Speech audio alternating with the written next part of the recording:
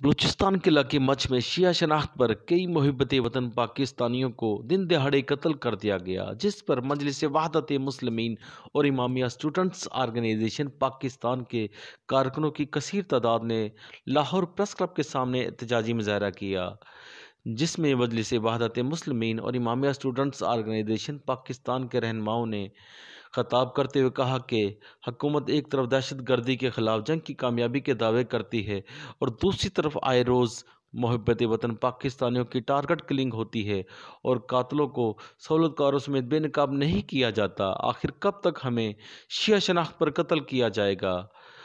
उन्होंने हुकूमत पाकिस्तान से मुतालबा किया है कि बलूचिस्तान में फिलफोर दहशत गर्द नासर के ख़िलाफ़ टारगेटेड ऑपरेशन किया जाए। ताकि पाकिस्तान व इस्लाम दुश्मन अनासर का ख़ात्मा किया जा सके।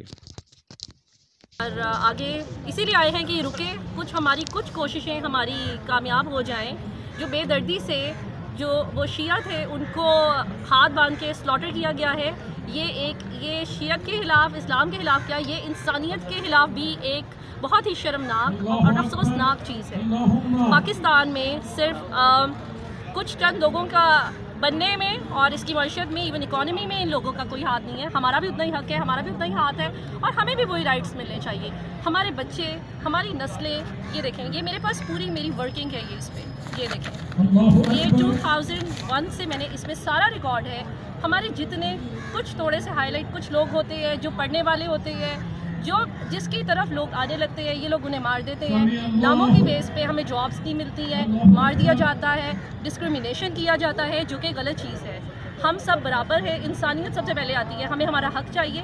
हमारे बच्चों का फ्यूचर है इस मुल्क में, हमारे बच्चों को हमें फ्यूचर चाहिए, और हम ये नहीं चाहते कि वो भी आगे ये सब फेस करें। जो आजकल किलिंग्स हो रही है स्पेशली हमारी बरदरी की, हमारी जो रिलीजन के बेस पे टारगेट किलिंग हो रही है रिलीजन की बेस पे और ये इंसानियत का खून है।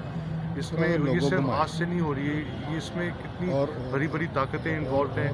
बाहर से काम करा रही हैं। हम दोनों के दरमियान में लड़ाई झगड़ा करवा रही है। स्पेशली शियार की टारगेट किलिंग हो रही है।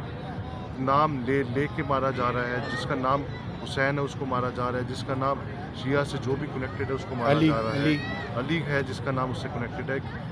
ऐसी जगहों पे जहाँ मुहर्रम की एक्टिविटी ज़्यादा होती हैं जिन जिन घरों में हुसैनियत का निकलती हैं चीज़ें निकलती हैं। हर जगहों पे वहाँ पर टारगेट लोकेशंस पे टारगेट किया जा रहा है हर जगह पे।